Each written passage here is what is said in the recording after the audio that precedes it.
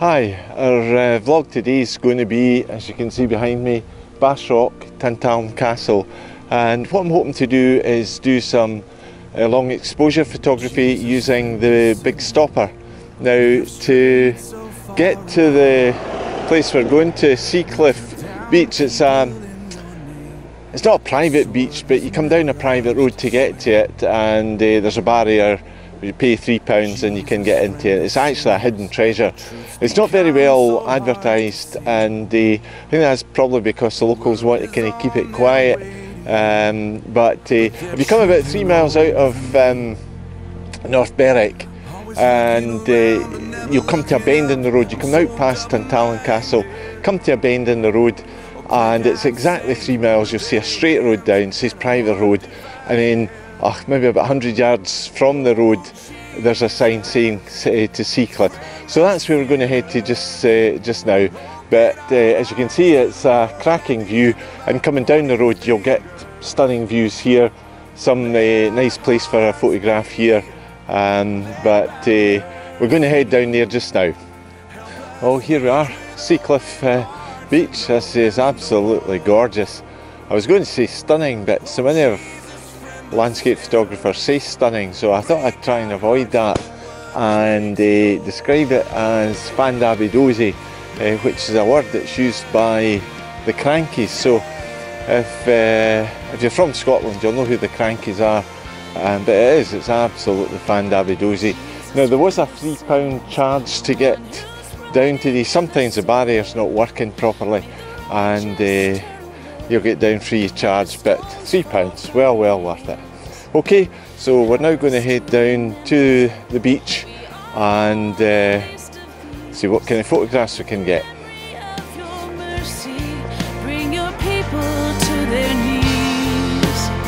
Nobody knows what we're for, only what we're against when we judge the wounded. What if we put down our signs, crossed over the lines, and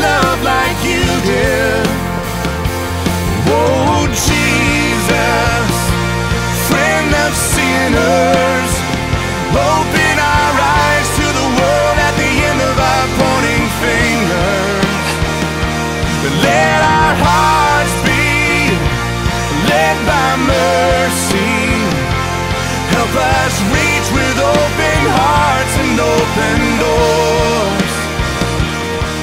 Right, so we've got the camera set up for um, long exposure. Uh, I'm going to put on the big stopper, um, which is uh, 10 stops. Like a piece of welding glass, it's, it's dark, you can hardly see through it, but it stops uh, the image down 10 times. So uh, from a 60th, I think that gives us about 15 seconds. Now on the big stopper you'll get uh, a wee chart that tells you that so you don't really have to have to work it out. Now a tip that I learned because um, you have to have the camera rock steady and there's no really rocks here to set it on. Uh, a tip learned from uh, Thomas Heaton is to use discs. Um, this one here is one that my wife used to have uh, when she was learning Gaelic. Uh, Cymra Hasheth, I think it's about the only thing I know, or Slàinte mhath. I'm not even quite sure what they mean. But if you get any discs with your photography magazines and you've uh, finished with them, um, it's a good idea just to put them under the, the feet of your tripod and it keeps it rock steady. It's obviously much better if you can get solid ground to put your your camera on. So if there's a rock here, uh, we'd put a rock there and there wouldn't be any need for this. Um, but uh, well, this should hopefully be okay for the 15 seconds that we're using it. Um, but one of the things I think about when I uh, think about sand and rock are firm foundations. And uh, 2000, my wife and I built our own house, and uh, one of the first things we had to get make sure was absolutely right was the foundations for the house, because you don't want to build it and then the whole thing to collapse down around about your ears. But uh, life's like that as well, and as a Christian, um, I think I mentioned in the first vlog I'd probably bring in some of my uh, views on things like that. And the thing I think about here is a story in the Bible about uh, building your house on the sand or building your house on the rock. About two builders, Jesus tells a story, one of them built it on the sand, the other one built it on the rock.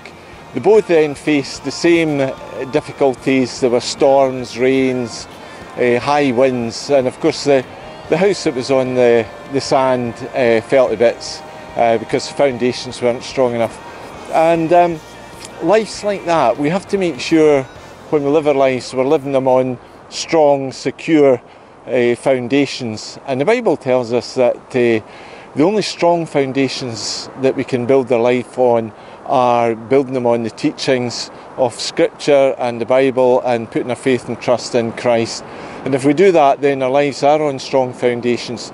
Doesn't mean to say that uh, we won't face difficulties and storms in life, um, but if we do, then Christ's promised to be with us and to see us through all these difficulties and uh, and problems. So if if you haven't uh, actually looked at uh, what the Bible says about things, then I would I would highly recommend just getting a an app for your phone or your iPad or Kindle or whatever, and uh, reading the first four books of the New Testament tells you all about um, about Christ and what He did for us uh, on the cross. But the important thing is.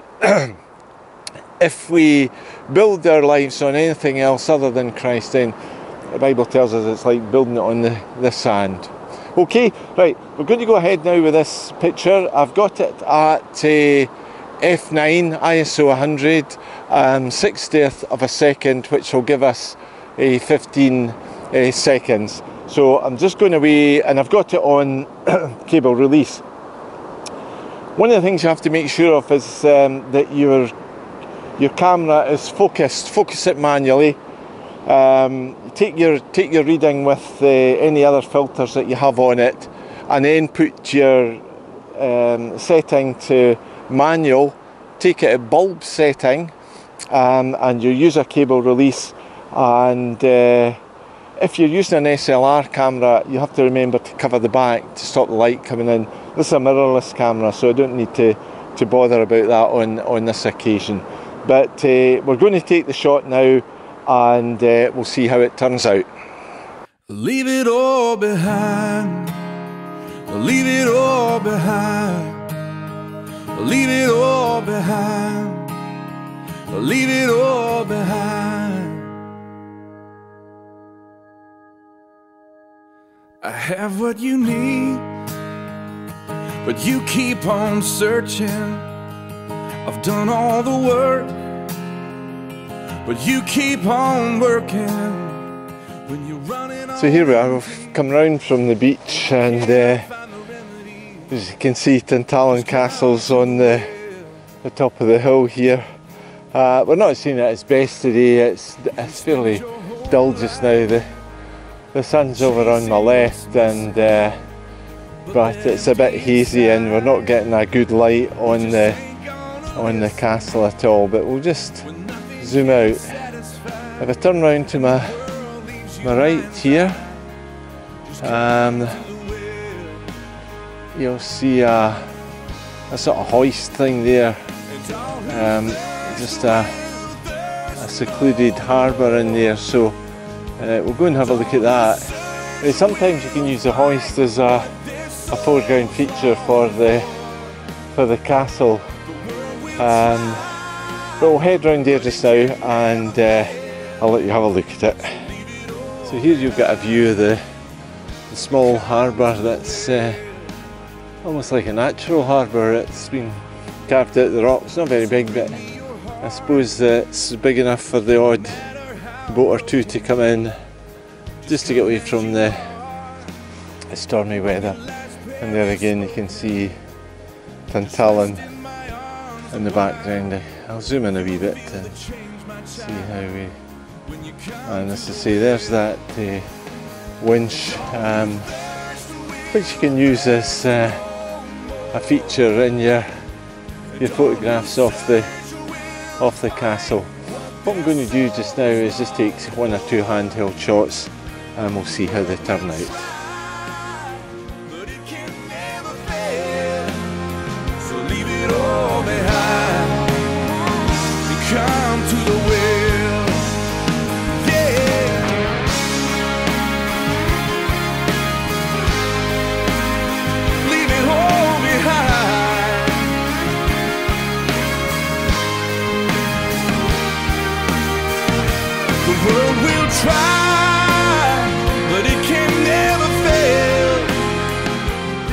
Hey folks, uh, good call it a day there. Uh, it's getting cold.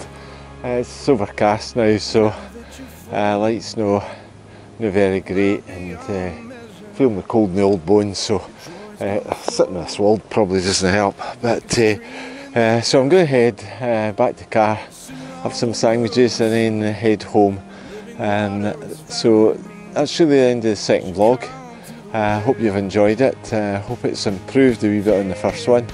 Uh, will improve as uh, as they go along, and uh, hopefully get better uh, the more we do. But uh, until the next one, and just take care of yourselves. Uh, thanks for watching, uh, and uh, God bless.